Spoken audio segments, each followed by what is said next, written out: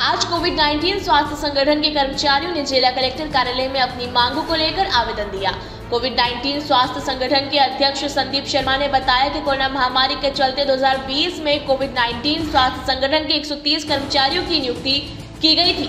जिस समय कोरोना महामारी चल रही थी, हमारे संगठन के कर्मचारी द्वारा मरीजों की रात दिन सेवा करते करते खुद भी कोरोना से संक्रमित हो गए। लेकिन अपनी जिम्मेदारियों से पीछे नहीं हटे, लेकिन स्वास्थ्य विभाग द्वारा समय समय पर हमें बाहर का रास्ता दिखाने लगता है। आज भी हमारे 20 कर्मचारियों को अपनी सेवा से बहाल कर दिया। अगर पुनः वापस नहीं लेते हैं तो हम स्वास्थ्य कर्मचारी हड़ताल करेंगे, जिसकी समस्त जवाबदारी स्वास्थ्य विभाग की होगी। अभी ज़िले में वायरल फीवर, डेंगू, मलेरिया जैसी घातक बीमारियाँ चल रही है और लगातार चिकित्सकों की भी कमी है, जिसको हम स्वास्थ्य कर्मचारी पूरा करते हैं और मरीजों का भरपूर इलाज व सेवा की जाती है। लेकिन हमारे साथ समय समय पर नाइंसाफी होती है। हमारे कर्मचारियों को वापस नहीं रखा तो स्वास्थ्य संगठन के सभी कर्मचारी आने वाले दिनों में एक बड़ा आंदोलन करेंगे।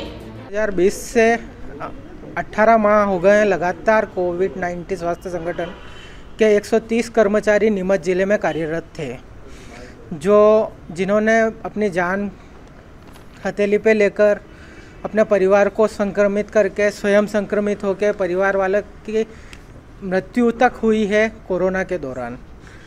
लेकिन सरकार की, हमने भोपाल में जाके धरना प्रदर्शन किया, वहाँ पे सरकार ने हमारे ऊपर लाठीचार्ज किया। 18 महीने में हर व्यक्ति ट्रेंड हो चुका है और नीमच ज़िले में आप देखोगे, चिकित्सकों, स्टाफ और हर कर्मचारी की कमी है। जिला चिकित्सालय में ट्रामा सेंटर बना हुआ है 400 पेशेंटों की कैपेसिटी वाला, जिसमें करीबन आपको 600 के करीबन स्टाफ चाहिए और 130 स्टाफ जो आपको कम पैसों में और ट्रेंड स्टाफ मिला हुआ है, उसको आप बार बार निकाल रहे हो। विगत तीन माह पहले 40 स्टाफ कम कर दिया गया, अभी आपने 30 स्टाफ कम किया है।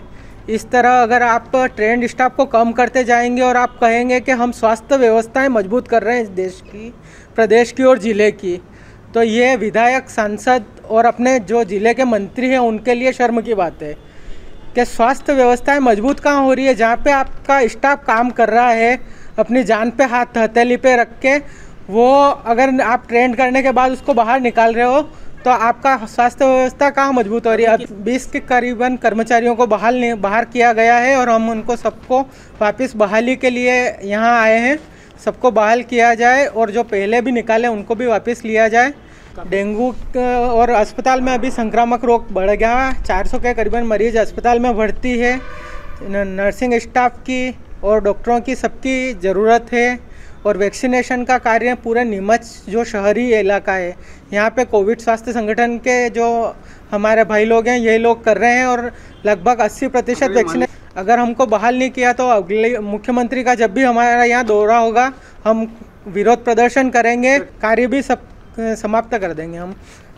हमारा तो यही कहना है सरकार से और हमारे कलेक्टर साहब से नीमच तो यही कहना है हमारा कि हमारे जो भी साथी को निकाला गया है, उनको वापस लिया जाए और संविदा में संलग्न किया जाए।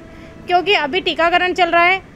हमसे, हमें आठ बजे बुला, बुलाकर इन लोगों ने छः छः बजे फ्री किया है, यहाँ से ड्यूटी से। और हमसे जितना काम लिया है, उतना इन लोगों ने मतलब हमको एक भी बिना छुट्टी दिए, संडे ना कोई संडे, ना कोई मंगलवार, ना कोई शुक्रवार, बिना छुट्टी के हमसे काम रेगुलर करवाया है। और जब हम कोविड में हॉस्पिटल में भी ड्यूटियाँ करते थे, हमें बिना बिना ऑफ़ के भी हमसे काम करवाया गया है। अभी वैक्सीनेशन चालू है और वैक्सीनेशन हो रहा है और बच्चों का भी वैक्सीनेशन आने वाला है। लगातार ये हमारे स्टाफ वाले सारे काम कर ही रहे हैं तो हमारा तो यही, सरकार से यही कहना है, मुन्ने मुख्यमंत्री साहब से और हमारे कलेक्टर साहब से यही कहना है कि भाई, हमारे जितने भी स्टाफ को निकाला गया है, उनको फिर से लिया जाए। ये आदेश कल जारी हुआ है और हमारे कम से कम सोलह और बीस स्टाफ को निकाला गया है। जी, हम इस बात के लिए आए हैं कि हमारा जो स्टाफ है, उनको हमको कोविड में लिया गया था सन 2020 में। हमने डेढ़ साल रेगुलर रेगुलर काम किया है और हमको हमारा परसों आदेश आया है कि इनको सबको निकाला जा रहा है। एक आदेश आया है कि सबको निकाला गया है, दूसरा आदेश आया है कि बस इसमें सोलह स्टाफ को रखा है। तो हमारे 36 स्टाफ में से हमको 16 स्टाफ को रखा है, हमारा सारा 20 स्टाफ निकल गया है। उससे पहले भी इन लोगों ने ऐसा ही किया था कि हमारे कम से कम हमारे चालीस स्टाफ को और पहले से निकाल दिया गया है। तो आप लोग? क्या चाहते हम हम तो यही चाहते हैं कि हमारे सभी स्टाफ को जिनको निकाला है उनको वापस लिया जाए और संविदा में सब किया जाए। अगर नहीं नहीं ली हमको वापस से नहीं लिया जाएगा तो हम धरना धरना प्रदर्शन करेंगे और भूख हड़ताल भी करेंगे। नीमच से दीपक खताबिया की ये रिपोर्ट।